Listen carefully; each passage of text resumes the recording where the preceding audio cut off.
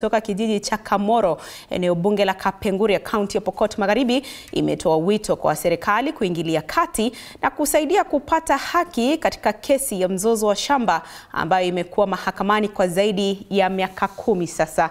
Kulingana na familia hiyo ya mzee Stephen Mnangat, ni kwamba mzozo wa umiliki wa ardhi hiyo umesababishia madhila ikiwemo kutengwa katika jamii, kunyimwa haki za kimsingi miongoni mwa mengine. Ndio wakaelewana namna hiyo.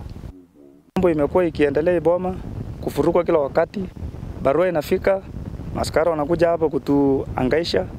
Ukijaribu kupeana malalamiko yoyote hausikizi mahali popote. Hatuende hospitali, tukikonjeka tunameza madawa, kwa sababu tukionekana Kringet tunashikwa.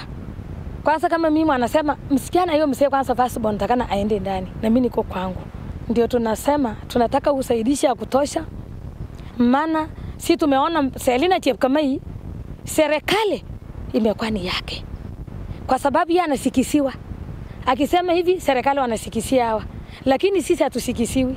We are also Kenyans. We need also help from the government. Not one side to be supported, other side to be left.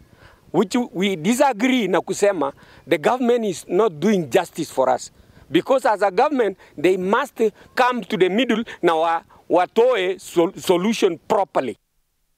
Kutoka Pokot Magharibi sasa tuelekee Mwingi Kaskazini ambapo familia zilizopoteza wapendwa wao